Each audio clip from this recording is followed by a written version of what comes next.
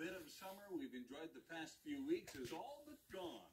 It was a rainy day along the Wasatch Front. In the mountains, some areas got more than half a foot of snow. Good evening, everyone. I'm Bob Evans. And I'm Kelly Chapman. Fox 13 News reporter Jenna Bree shows us how Utahns and visitors went up into the mountains to celebrate this little bit of winter, while UDOT is now getting ready for more storms. I didn't think I was going to see any snow this early. Visitors from the other side of the country were treated to a rare sight of fall foliage and snow.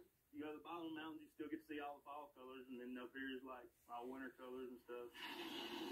Some Utahns came up to Guardsman Pass to do their favorite winter activities on a few inches of snow.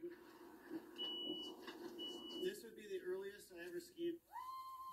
We were up here sledding. These new Utah residents There were no sleds at Walmart.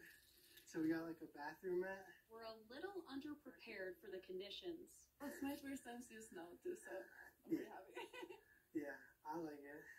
It's um we came here kind of for like a different change of scenery and we definitely got it with all the snow around.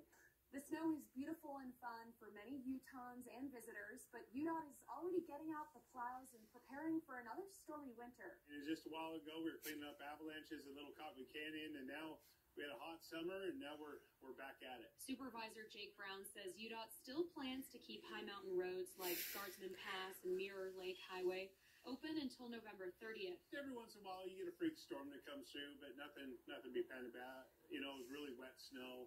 They didn't even have to use salt. You know, just really just push it off the road. Brown suggests taking the time now to make sure your tires and wipers are good, so you're ready to endure another stormy winter. In Park City, Jenna Bree, Fox 13 News, Utah. So just